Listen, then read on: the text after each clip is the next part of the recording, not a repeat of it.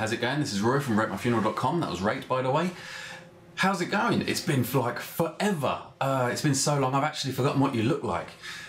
Anyway, let's get back into things. Um, running well behind just because I've been so busy doing a billion and one squillion things.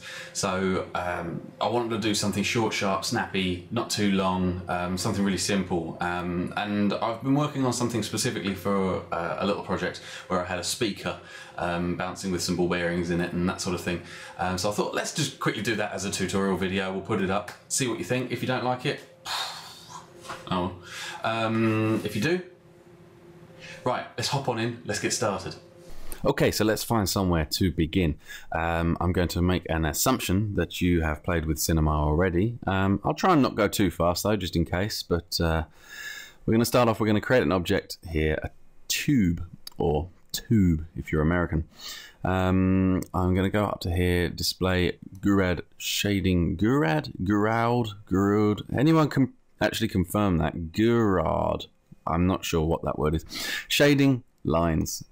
That puts on a bit of geometry detail for us. So I'm going to make this a bit smaller. Um, and let's make it a bit thinner. This is going to be our speaker outside. Now, uh, an important note with this is obviously if you're going to get close to it, you want to watch these um, edges. We haven't got too much geometry here. So you'll tend to see these kind of straight lines on here. If you want to reduce that, there's a couple of ways. One is you can increase the height segments like so, or you can stick the whole thing, hold down Alt and click on the subdivider. Obviously that puts shed loads of geometry on it. So only use that if absolutely necessary uh, in this case. So let's go for something a little bit halfway, so about 50. Uh, I would have thought will be fine for what we're doing here. Um, just look at that tube. That is beautiful, isn't it? Yeah. Anyway, so that's going to be the rim. um, what we now want to do is create the kind of uh, what is it? Um, it's like a, a, rubber seal between the uh, the cone of the woofer and the um, and the rim. So I'm going to use this torus. Uh, I'm just trying to get this about right. I'm not doing this accurately by any long shot of the imagination. It's purely eyeballing. So, um, and I'm kind of making this up as I go along because I can't really remember what I did last time. So if we make that about the same ring segments, you see it should all line up quite neatly. Um, okay, so for the inner cone, uh, there's a ton of ways you can do this. Um, what I like to have is something that has a slight lip, then it starts to curve in. So the way I do that is create a circle, uh, change the plane so that it's on X, Z. Now that's just dropped in there a bit. So we can hit T and just shrink that down a bit so we can see what we're doing. The next thing I'm going to do is add a rectangle and shrink that right down. Okay, and in our circle, we're going to go and hold down Alt and select Sweep and drop our rectangle in there as well and that basically sweeps that rectangle around that circle. Now, the reason I'm doing this is because, I, like I say, I want a slight lip. Um, so this is the way I found to do this. So let's grab our rectangle and we will, uh, we don't want it too deep and too wide. So about there, it should be fine. And then what I'll do is make this rectangle editable. So I'll press C, that's now editable. Now, if I go back to uh, the live selection button and go to points mode, our rectangle is actually shown in the middle there, so we can see this. Now here's an interesting thing. We can actually change the shape of that just by altering the shape of this rectangle. Perfect. So what we want to actually do is grab this bottom one here, which is this edge here, and just pull that out a bit. Uh, let's hop into the sweep tag and just put our Phong down a bit to 50, and that will just make that edge sit a bit nicer and won't try and smooth it out too much.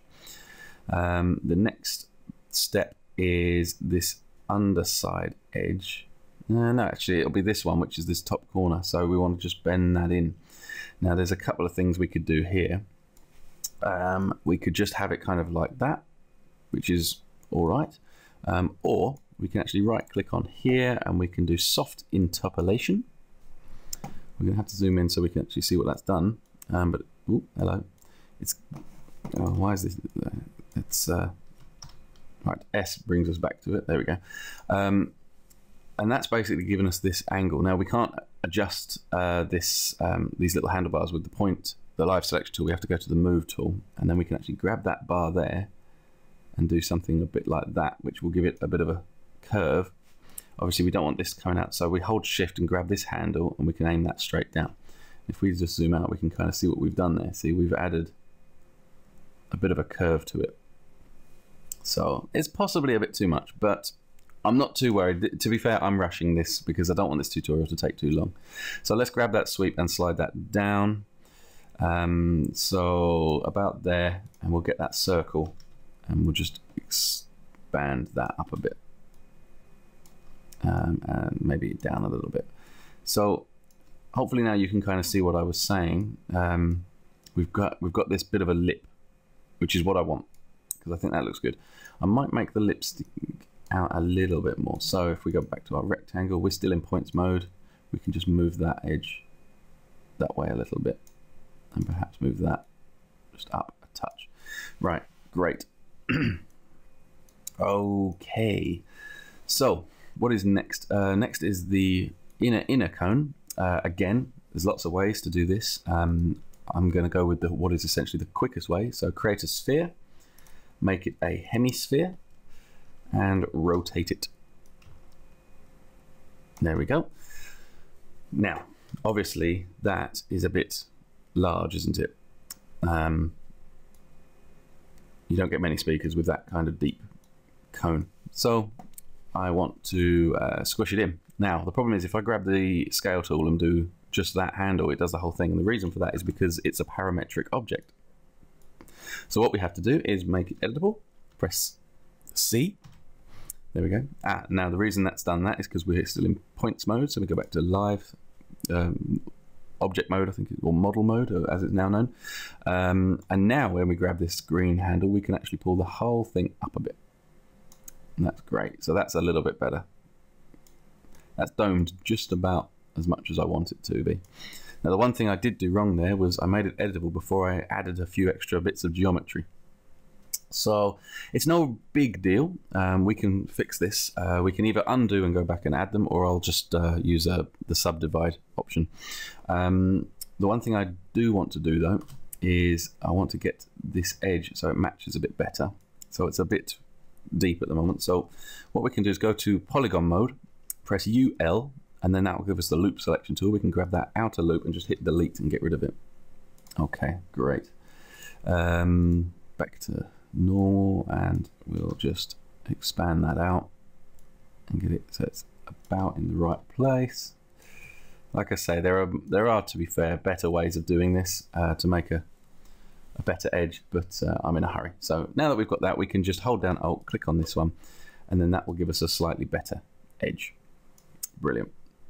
It's worth doing this uh, when you're dealing with something that's quite a few polygons. I mean, to be fair, this scene isn't going to get much busier, so um, the subdivision surface is not such a problem. But for the editor, you can actually put that down to one, and that will only display that many polygons during the editor, but it will do th three times that many in um, in uh, when you actually render it out. So it will be kind of that level. So we can just do that. And to be fair, I mean, looking at two, we don't really need it to be any more than that. So we'll just leave the renderer version at two as well. Um, and the editor version at one. So um, if we put on uh, a fair ambient occlusion, we can kind of see the how it's looking at the moment. It's getting there. It's definitely getting there. It's uh, this edge is maybe a little bit iffy, so we can just uh, maybe scale that a touch more. And there we go. We've got a bit of a a bit of a, uh, a kind of separation, but I mean to be fair, that probably is about right. So we now need our dome for the middle. I'm just going to use the same sort of technique again. So make a sphere, turn it into a hemisphere. I'll put the uh, I'll put the uh, segments up on this one, uh, shrink it down, place it in the middle. Again, it's it's a bit a bit nipply, so we'll uh, squash that down. There we go. Cool. Okay, I'm pretty happy with that. So we've built our speaker really quickly, really easily. Um, we now just need to divide it up a little bit. So our inner stuff, we'll highlight all that. I'll press Alt and G, and we'll call that mid woofer. Woofer. And then these outer bits we'll call nope, outer rim. um, and then what that enables us to do is we can animate this inner section so it goes boom, boom, boom, boom, boom, boom, which is what we want. So, um, in order to do that, we can use a sound effector. Um, a sound effector won't affect this collection of objects though, because it needs to be a MoGraphed object of some form. So the way you can do that is if you put it into a fracture object or a cloner. My personal preference is cloner because I see some occasional, some slight odd um, effects with fracture objects. So I just stick it in a cloner. Now obviously that creates clones, um, but you can just set it to one, job's done. There we go, we have our cloner. Um, the next thing I want to do then is with cloner selected, actually let's name that mid woofer so it doesn't get confusing. It is still the mid woofer.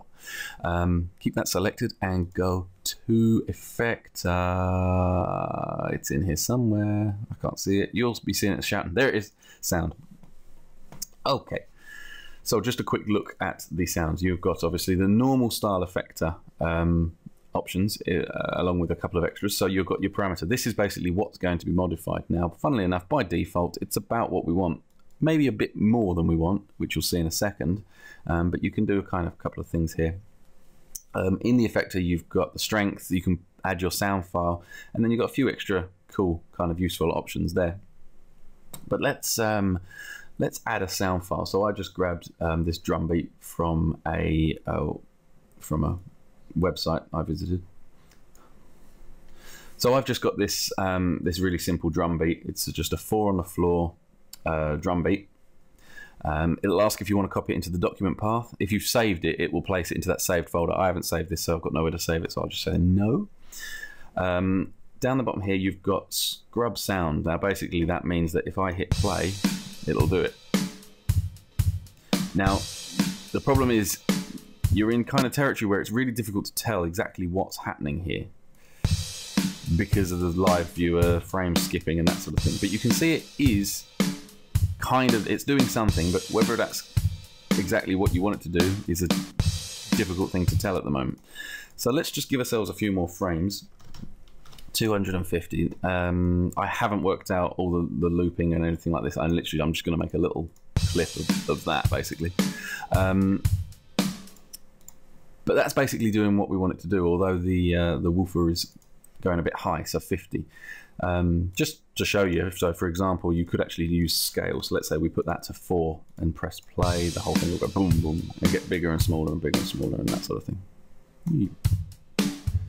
So you can do quite a lot with this. It's, it's pretty, pretty cool. Uh, you can even add rotation if you want. but uh, we don't want to. So let's just bring this right down um, to about 15 great, right. And when this uh, first kicks in, it always jumps up quite a bit. So I'm just going to have it for the first um, sort of few frames. I'm going to have it a bit lower than I would normally, because then that should sit about right. Like I say, unfortunately, it's difficult to tell that that's timing out right. So the only way to do it is really render it and test it. You know what? I reckon 244 might give us a good loop there.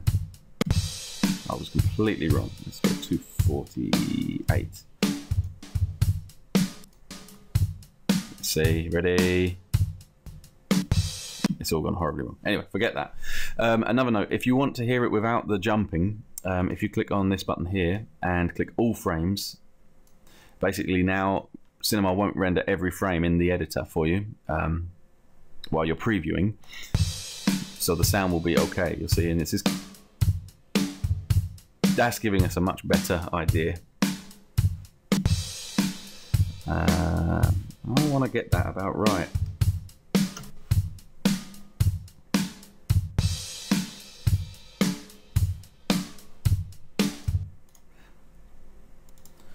Um, try, I reckon, 228. Let's try that.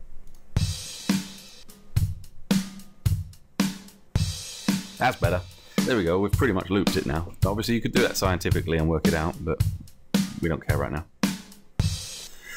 Um, okay, so because we're dealing with sound, an important thing to do is go Control D, go into project settings and make sure that your frames per second are the same as what you're going to render it out as. Now I'm going to render it out at 25 frames per second, so I want to change that there. This will obviously change to 190 frames, and we'll just check that that's all still fine.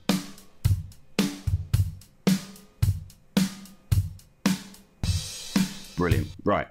So I'll just show you this. We won't do it in this one. Uh, this is something for you to go away and try.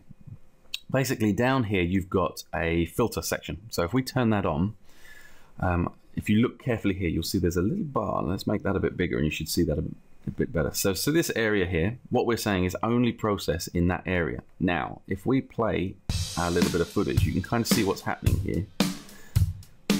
That's our bass, and then our highs are over here. So what you could actually do is build a speaker with say two woofers, a, like a, or one woofer and a tweeter. Um, so you have your woofer with a sound effector just set up to down here, and then a tweeter just set up here, you know, positioned a bit higher, a bit smaller, and then they would move to their correct frequency, which can make quite a quite a cool effect. You know, you can build a proper working speaker. Um, you can cut these off, so you can sort of limit. So now we're sort of a little bit more accurate on the bass there and we can compress it maybe and push some of that sound out a little bit more.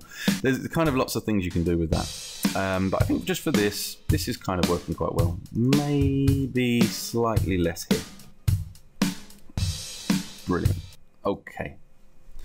So, um, that is essentially it. But if you want to stick around, I might as well just do a few extra little bits. Um, none of this is anything special. I'm just going to texture it, light it, and render it out. So if you're bored now, fine. Don't don't. I won't be upset if you want to go away. If you want to keep watching, then do. Right. so let's um, let's have a look. First thing I want to do is light it because at the moment it's looking naff.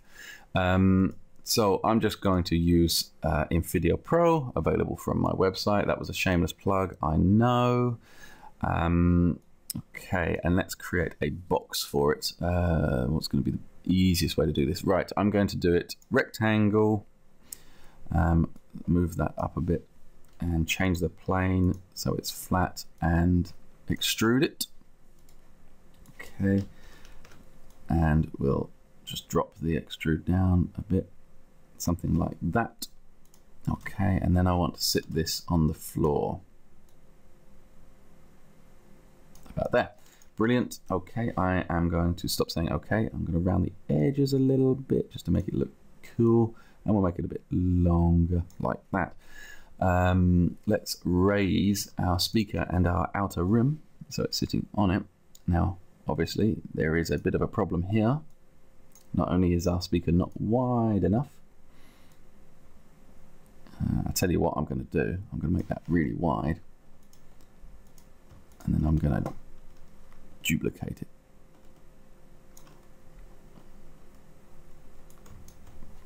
You could do this using a cloner, but for speed, I'm just going to do that. Okay, and then we make sure that that one is also, so they should both be going. Uh, we'll check in a second. Oh, hello. Um, we need to cut holes in our box though before we do too much more because we can't see our speakers. So let's raise this one up, change the plane, XZ, uh, XZ, sorry. Uh, the way we can best do this is because we used a, a, um, a, rectangular spline to create this box, we can actually just cut this out using a connect object. So if we go with that rectangle selected, we go to here and connect, hold down Alt, it'll put it in it, put the, the circle in there. Um, hang on, before we put the circle in there, let's just put the circle inside of that rectangle and we'll zero out the y-axis. That will put it on the same plane. There we go. And that, that cuts it out for us. So we now put that there and place that there.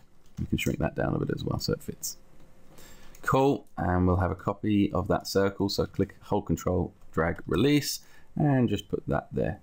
Geometry wise, I know this isn't the best way to do it, but it's certainly the quickest. So that gives us our two speakers, and if we hit play, they're both going. Brilliant. Okay, um, our extrude, I just want to give a slightly nicer edge to, so fillet cap, we'll do it both sides, um, and maybe two and two, three, just give it a few more steps, and constrain it so it doesn't get bigger or smaller. Um, that circle is not quite over, there we go, right, that one, and yeah, that one seems okay. Right, brilliant. Um, I might just raise our speakers just a touch. There we go. And just for tweaking, uh, like I say, I'm not intending to spend too long on this, but I'm kind of messing around now. Um, what am I doing? In the outer rim on our tube, uh, we could actually go fillet um, and just reduce that right down to sort of two and maybe one. There we go, and that just gives it a slightly nicer edge. Cool. Okay. So obviously we haven't textured it yet. Let's just see what side we're sitting at. So the, our lighting is over there. So let's just go into Invidio and lighting and rotate all lighting put it sort of about there. We have our key light, our fill light, and then our overhead light is all sitting in the right place. So that's good. Okay. We'll just have a quick look.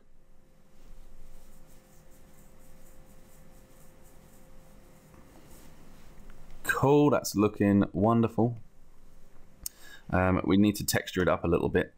Um, so let's make it really, really, really simple. So our speaker is a black shiny one. So color black, uh, maybe just slightly off black.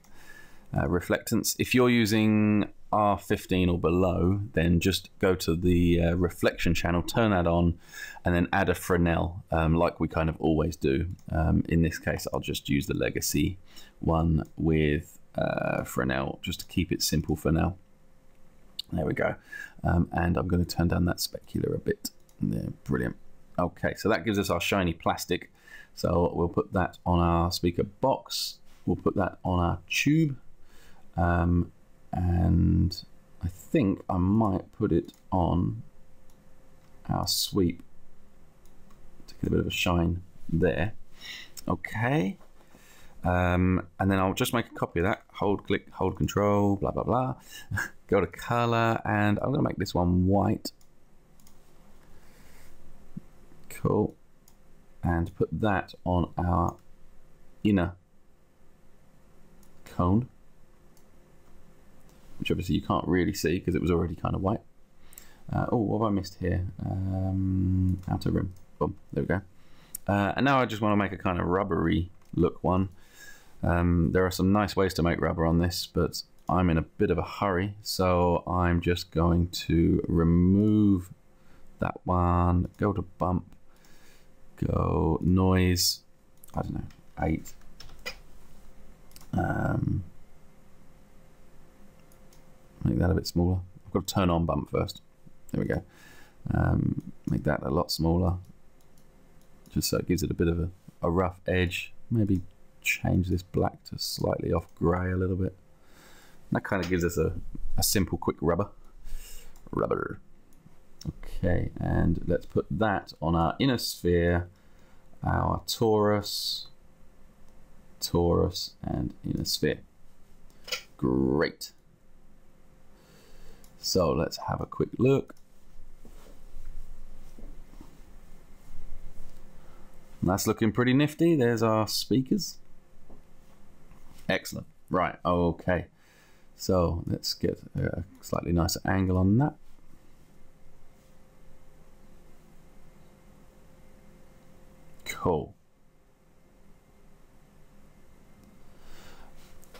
Wonderful. Right. Um, my final thing that I think I might do is just go into video and turn on the floor reflection. Um, about 50 with 1% blur or so. Won't make a huge amount of difference, but it'll just add a bit of difference to the ground because we'll get some slight lighting changes and stuff. There we go. And we get this nice shine down here. Great. Okay. Uh, anti-aliasing we can put up to best. Um, That's probably going to do it for this. Uh, you could go into the physical render and do it all with that. Let's just see how much.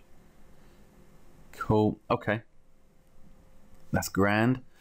So, what do I want to do? I mean, that's it really. Now, if I render that out, that'll just sit and boom, boom, boom, boom. But you know, what if you want to have a bit of fun? Uh, let's just have a few minutes just to have some fun. So, let's go sphere. Right. Um, I'm going to create a camera and I'm going to leave that there. Oops, hello. And then I'm going to go into this sphere and shrink it down. Now I'm going. I want to. Uh, I'm thinking like ball bearings here. So let's reduce the segments of this sphere so they're only like five to, for speed. Um, and we'll right click, add rigid body, and then go. And obviously that just falls straight through. Invidio's floor's already done, so that's fine. But um, we need to sort of add some uh, tags to this setup here so that it knows to react with it. So our extrude, which is our, let's call this speaker box. Um, let's put Invidio down the bottom as well, along with our camera to keep things tidy. And let's close these up for the moment. So our sphere has got its tag, our speaker box. We want to do simulation uh, collider body, but because we've cut the hole in it, what will happen is that will sit there. So obviously we don't want that. So we need to go into our tag and change the shape from automatic to static mesh. And then that means that it will fall through. Brilliant. So that's the box done. Uh, we can then pretty much do the same with the outer rim and outer rim. Our mid woofer um, will be kind of the same, although it will be moving mesh. And we can put that on both of those. In theory, that should be everything we need. Brilliant. And that makes our ball bounce around. Cool. Okay. So now, what can we do with this? Uh, maybe we can shrink this ball down a little bit more um, and put that inside of a an emitter. Okay, let's just turn that emitter around. And now if you just hit play on an emitter, all it does is fire these kind of crap lasers out. It's not really what we want, so what we need to do is tick this show object button. There we go. And now we're filling up our speaker with ball bearings. Now I just, oh, spotted a problem there. So our outer rim isn't working properly. I would hazard a guess that what we need to do, we can select both of these, is go to here and do collision compound shape. That should make our outer rim work a little bit better. Great. Um, so we've got one emitter here, which we'll put just above it. Let's say for the for the first, say 75 frames and start at 20, so it doesn't start instantly. Tell it to stick 100 out and see how many that is. Probably too many.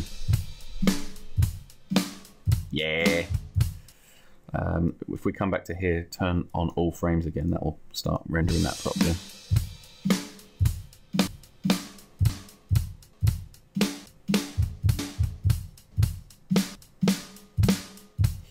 That's quite cool. Um, tell you what we will do. In our sphere, we'll just turn up our bounce to, say, 60. Just so they're a little bit bouncier. Um, that's probably a few too many, to be fair. So let's reduce that down to about 75, 75. Same as the subdivision surface. The editor, that's how many it will do in this preview, and that's how many it will do in the final render. But I like to keep those about the same, unless it's something absolutely crazy, just so that we can kind of see what's happening. Cool. Okay. So that's pretty nifty. So we can now grab this emitter, Control C, and copy it, and actually put one over this speaker as well. Now, in my preview, I'm guessing this is probably going to go a little bit naff.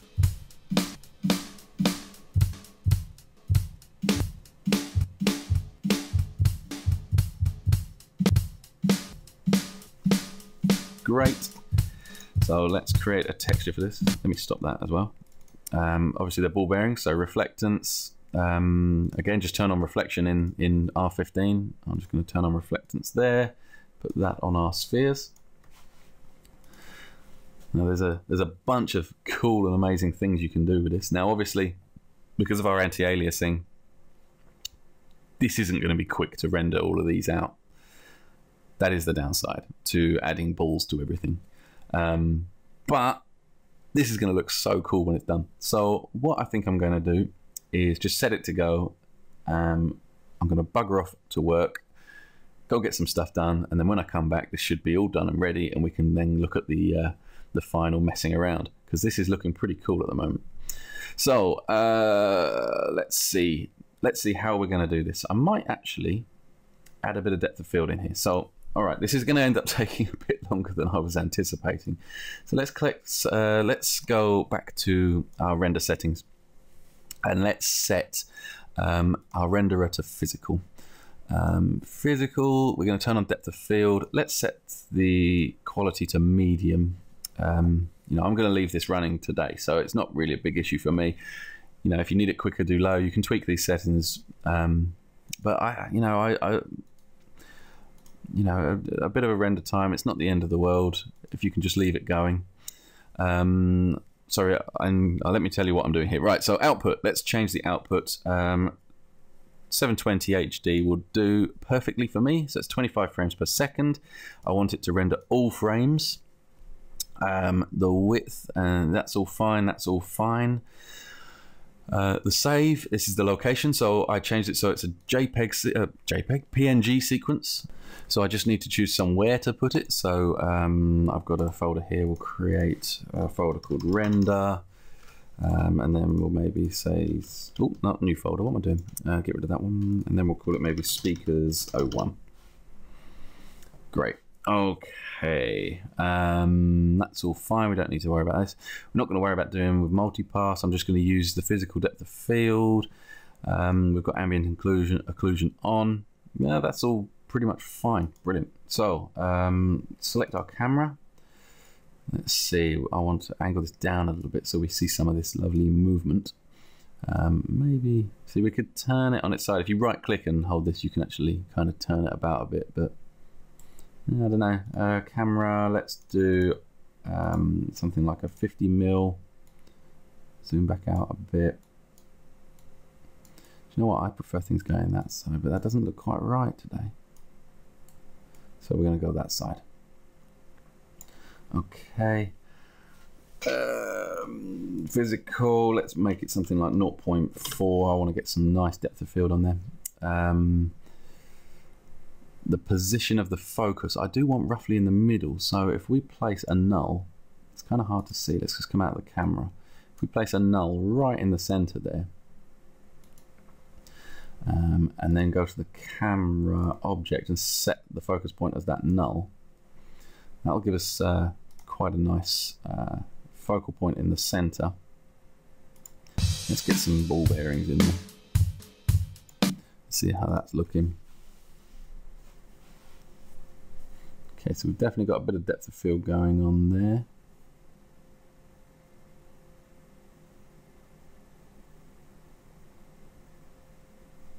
Okay, so that's looking pretty nifty.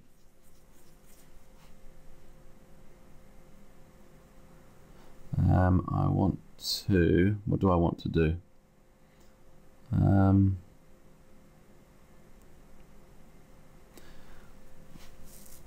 what do I want to do? Um, I've forgotten. I think maybe just add a little bit of camera motion. Um, this is really going to end up taking a lot longer than I intended, but let's add the motion camera tag to the camera so it moves about a bit. Uh, what we can do is with the camera selected, hold down Alt and select null. We put the camera into a null. Right click on the camera and do motion camera, no, motion camera tags, that's the one. Motion camera, boom. Okay, now by default it sets your height and your parallax a little bit funky, so let's just zero all of these out so our camera goes back to where it was. And I think what I might do is position it so that at position one, the parallax is there. And then at the end, the position is about there. So it kind of moves across as it's playing. So it's kind of like this. There we go. It just makes it feel a little bit less kind of stale and static. And we'll just do a quick test render, make sure that that's looking as it should.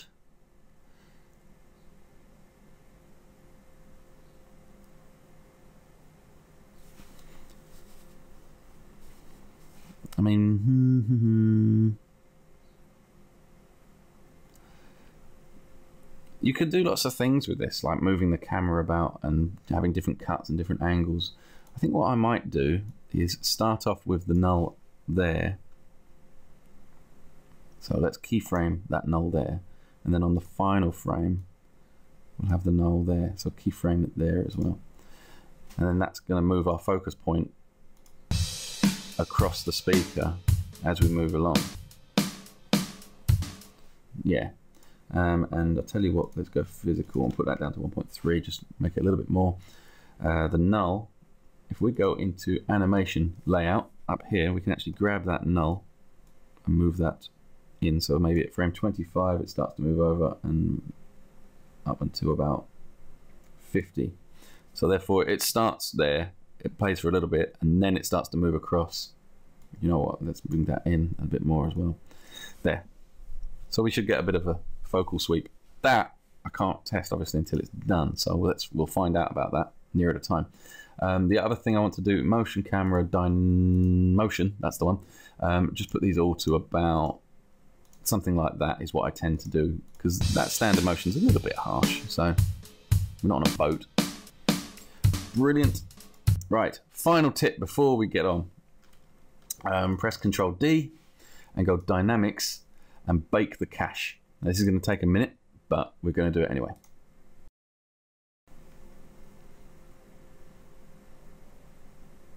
The reason that we're doing that is so that if we have to stop for whatever reason and we want to render out again from halfway through, the dynamics will stay the same. Um, there we go. So the dynamics are now all done. So now that's what will happen every single time. So that's great. Okay, brilliant. Right, we are ready, I think. So what I'm going to do is set that rendering. That's grand.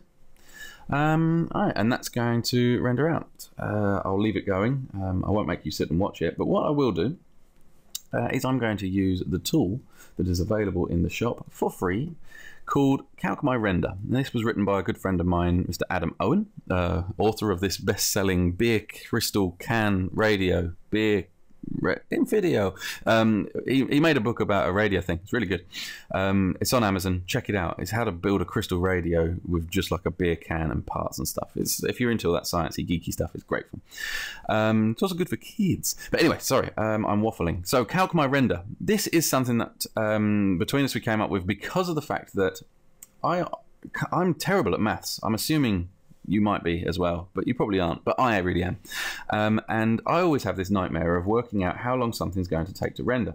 So, you know, what I now do with my calc the render thing is I look at how long an average frame is going to take. Now, bear, bear in mind, this is a frame without any of the balls, um, and it's going to take 44 seconds. Okay, so if I go in here and I put in, let's up it a bit, say we're going to say it's going to take 55 seconds and we are, we are doing frame well we've now got one frame done so we're starting at frame one um, and we're going to go up to frame 190 and then basically hit that and it will tell you how long it's going to take to render this out so two and a half well three, just under three hours um, approximately to render this out I think that's great because it just saves me having to try and work that out all the time. It drives me nuts. So, like I say, that's available in the shop.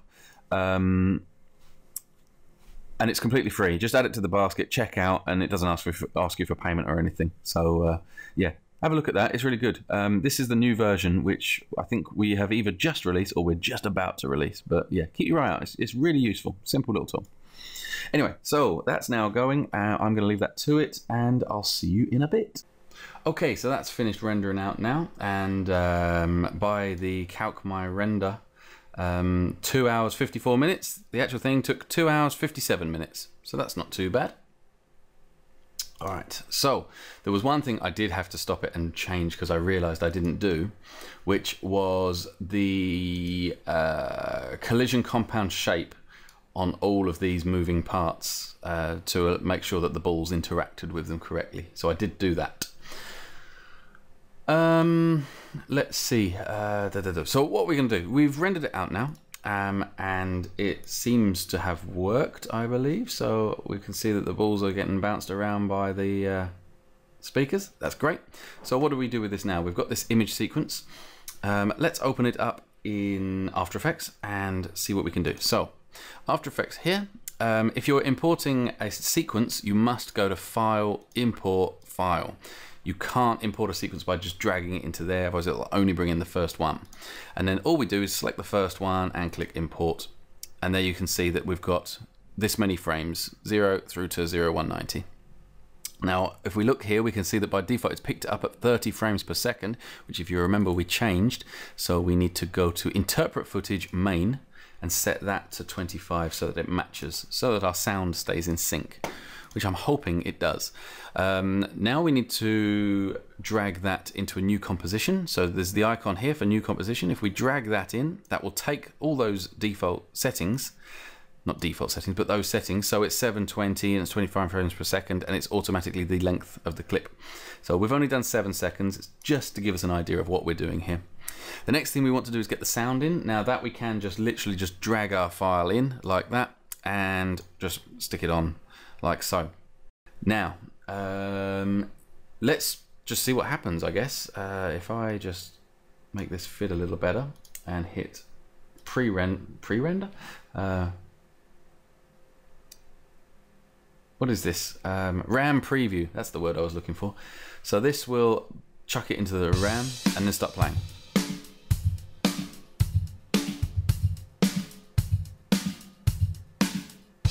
That's cool.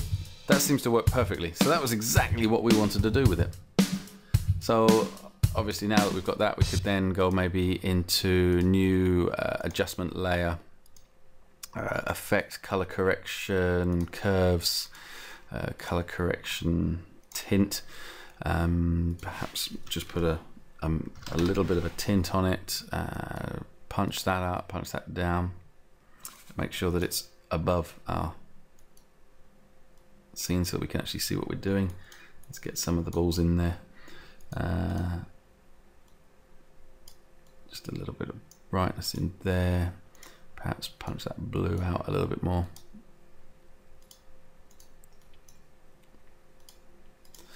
Yeah, something like that. Um, we could do one of my favorite things, which is to use the ellipse tool uh, effect, uh, color correction, exposure, and then just sort of pull that down a little bit. Invert the mask, press F for feather, and then just feather that out. That just gives it a bit of a bit of a, uh, a vignette, and then that's pretty much it. Obviously, none of that was essential just then. I was just literally playing around, but even still, that's that's basically done exactly what we wanted it to do. We've uh, we've made our speaker with our two woofers, and we can see what's happening by the way they're interacting with the balls.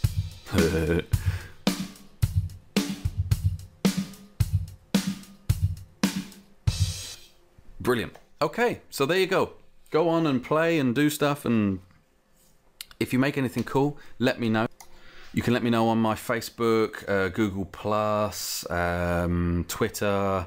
Uh, on the main site. You can comment uh, on the tutorial pages. Um, if you haven't visited the site, please go ahead and have a look. Um, you know, I've put a lot of work into this site, make it really cool. Um, I haven't really been on actually since I did the big revamp, so I've completely changed a lot of this. So now, obviously, there's the new shop, um, and the shop contains both um, premium items and free stuff. So you just go on, um, just add these to your basket, these free things, check out, don't put any credit card details in, and they're yours. They're yours to download and get. Like I say, there's Calc My Render. Um, there's a wooden car USB stick, the Xbox One model. Um, so there's a few things, and obviously I'm going to be adding more things to this um, as and when uh, they're available. So yeah, so please check that out. Um, also, obviously FAQ. Some questions in there that I get asked all the time. Quite useful. Um, what microphone do you use? That comes up quite a lot. Uh, so it's all in there uh, yeah, so hope, excuse me, hopefully um, you'll come and you'll get something out of this. Uh, and like I say, you can access all of the um, the the social networking sites from there. Get to all these uh, older style tutorials, bunch of stuff on there. enough self promotion now, I think. It's time for you to go make some cool stuff and then send them, post them, whatever. Share them with the world. Cool. Catch you later.